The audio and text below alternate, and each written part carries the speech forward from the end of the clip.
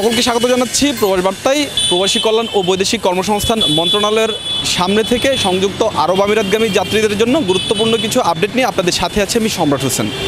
আপনারা জানেন, গতকাল অর্থাৎ দুই অক্টোবর প্রবাসী কল্যাণ ও বৈদেশিক কর্মসংস্থান মন্ত্রী ইমরান আহমদ, সংযুক্ত আরব আমিরাতগামী যেসব যাত্রী অর্থাৎ প্রবাসী কর্মীরা রয়েছেন, তাদের আরব আমিরাতে যেতে, যেই বিমানবন্দরে আরটিপিসিআর ল্যাব ল্যাবে যেই পরীক্ষা, সেই পরীক্ষার যে খরচ ষোলোশো টাকা সেটির প্রবাসী কল্যাণ ও বৈদেশিক কর্মসংস্থান মন্ত্রণালয় থেকে বহন করা হবে বলে মন্ত্রী জানিয়েছেন। আপনাদের যদি একটি বিষয় জানিয়ে রাখি যে, অনেক জল্পনা কল্পনার অবসান ঘটিয়ে হজরত শাহজালাল আন্তর্জাতিক বিমানবন্দরে যে আরটিপিসিআর ল্যাব, সেটি স্থাপিত হয়েছে, সেটি ছয়টি প্রতিষ্ঠান স্থাপন করেছে।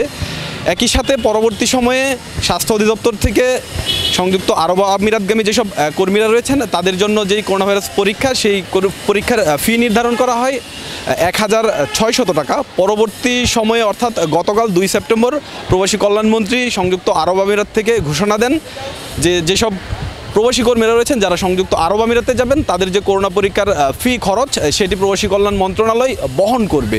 এই ঘোষণা দেওয়ার পরপরই আসলে প্রবাসীদের মাঝে আমরা দেখেছি, প্রবাসীদের সাথে আমরা কথা বলেছি। তাদের মাঝে এক ধরনের স্বস্তি বিরাজ করছে। সেই প্রবাসীরা আসলে এই ঘোষণার পর প্রবাসী কল্যাণ ও বৈদেশিক কর্মসংস্থান মন্ত্রণালয় থেকে যখন এই করোনা ভাইরাস ফির মানে খরচটি বহন করা হবে, এরপর থেকে আসলে তাদের মাঝে এক ধরনের স্বস্তি দেখা গিয়েছে।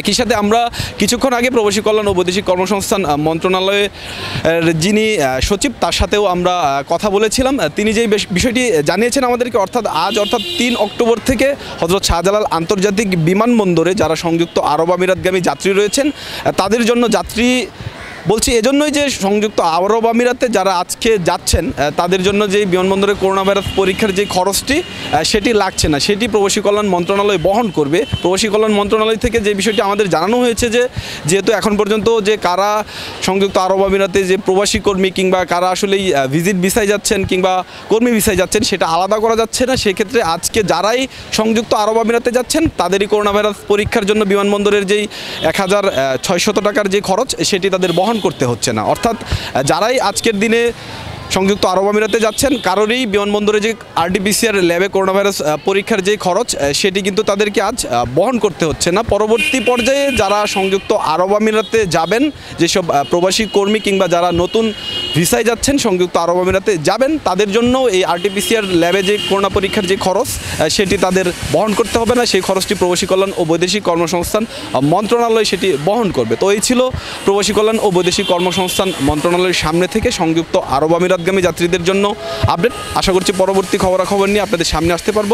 ততক্ষণ পর্যন্ত সবাই ভালো থাকবেন। বিদায় নিচ্ছি আমি সম্রাট হোসেন।